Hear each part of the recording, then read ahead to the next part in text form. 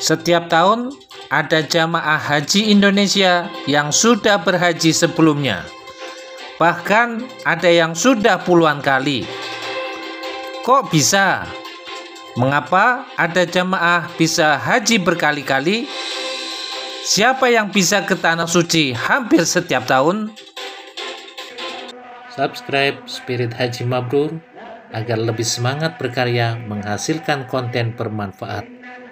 Jazakumullah subscriber.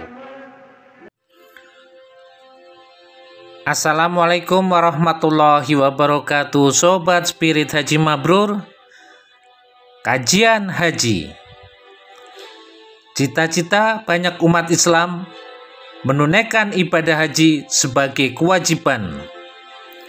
Rindu ke Baitullah di Majidil Haram Mekah untuk tawaf dan wukuf di Arafah. Selain memiliki kemampuan, harta, ilmu, dan sehat, jamaah harus sabar menunggu giliran berangkat. Antrian jamaah haji di beberapa daerah sangat panjang hingga puluhan tahun. Namun, ternyata setiap tahun ada jamaah yang sudah pernah menjadi tamu Allah. Jumlahnya tidak banyak, tetapi beberapa jemaah sudah pernah berhaji sebelumnya. Bahkan ada yang lebih dari satu kali atau sudah tidak terhitung berapa kali berhaji. Data Kementerian Agama dari total 209.782 jamaah haji reguler Indonesia yang tiba di Tanah Suci pada 2023, 98,34 persen belum berhaji dan 1,66 persen atau 3.482 jamaah sudah pernah berhaji. Persentase hampir sama jamaah yang belum berhaji pada 2022 sebanyak 1,4 persen. Bolehkah berhaji lebih dari satu kali?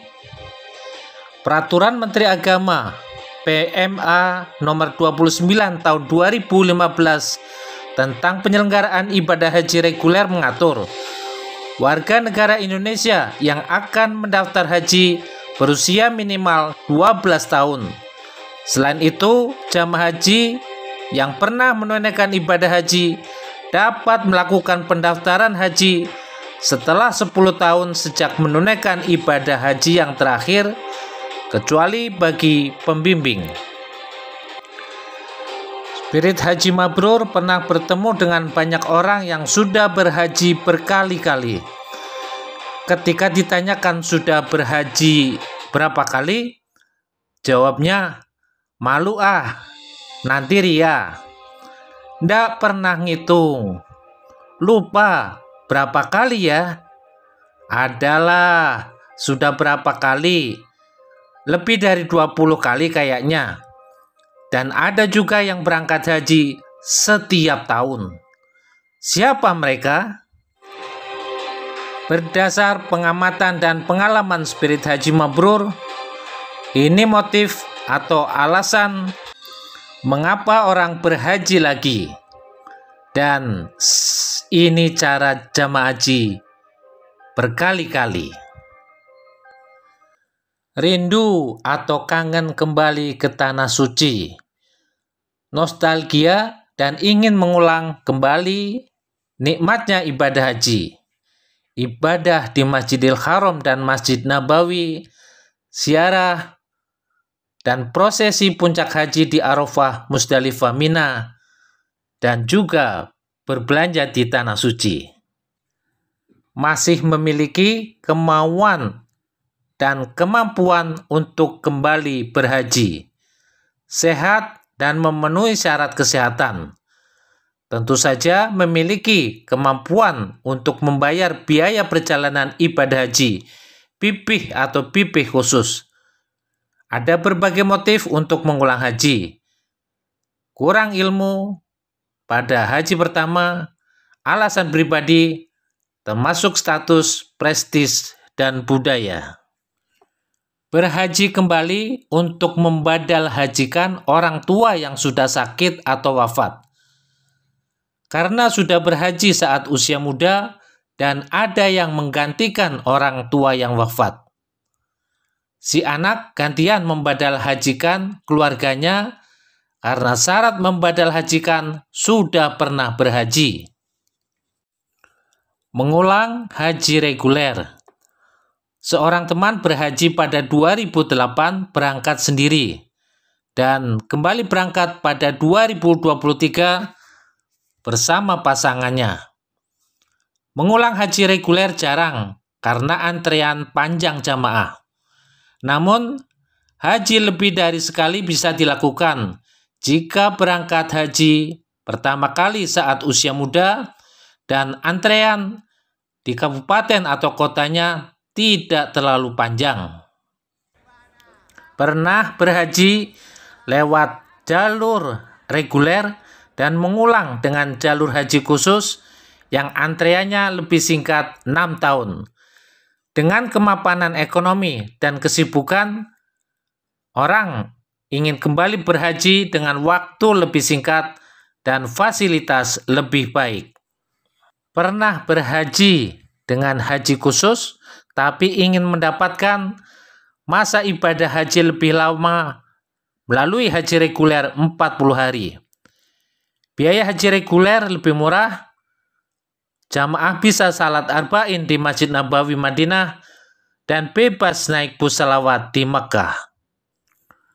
Pernah berhaji reguler atau haji khusus dan berangkat kembali dengan haji furoda atau non kuota.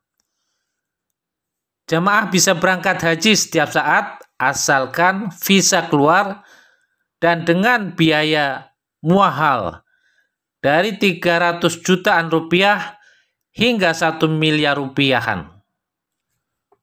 Sudah pernah berhaji, lalu ada tawaran undangan raja atau dari pihak di Saudi, baik difasilitasi atau tidak. Setiap tahun, pemerintah Arab Saudi mengundang beberapa tokoh, termasuk pada 2023 ada pejabat, calon presiden, dan tokoh masyarakat. Orang yang langganan berhaji setiap tahun tentu Menteri Agama sebagai Amirul Hajj, pejabat di lingkungan Direktorat Jenderal Penyelenggaraan Haji dan Umroh hingga eselon 4 staf dan pejabat di lingkungan kan kemenak provinsi dan kabupaten mendapat kesempatan untuk berhaji. Juga pejabat terkait di pusat kesehatan haji Kementerian Kesehatan. Petugas non-kloter haji PPIH Arab Saudi dan tenaga musiman atau temus yang kebanyakan berasal dari Arab Saudi dan negara Timur Tengah. Enak betul, sudah berhaji gratis, petugas haji digaji dari dana APBN. Misalnya pada 2010 ada Muhammad 47 tahun, mukimin Indonesia asal Sampang Madura, bekerja di Arab Saudi sebagai supir sudah bermukim di Arab Saudi selama 30 tahun. Mukimin ini mengaku telah menunaikan ibadah haji hingga 22 kali. Saya pernah ketemu juga mukimin asal NTB yang bekerja di kantor misi haji Saudi dan sudah tidak ingat berapa kali haji. Setiap tahun, bro. Mereka yang dinas dalam rangka pemantauan atau pengawasan haji, seperti anggota Komisi 8 DPR dengan kuota besar dan lembaga lain dengan kuota terbatas, seperti DPD, BPK, dan kementerian terkait. Pimpinan atau pembimbing kelompok bimbingan ibadah haji dan umroh KBIHU yang besar dengan banyak jamaah, tetapi harus membayar biaya haji penuh sebesar biaya penyelenggaraan ibadah haji BPIH.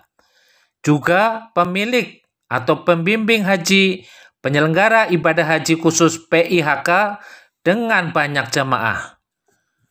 Mukimin Indonesia di Saudi berangkat haji lewat travel dengan harga bervariasi.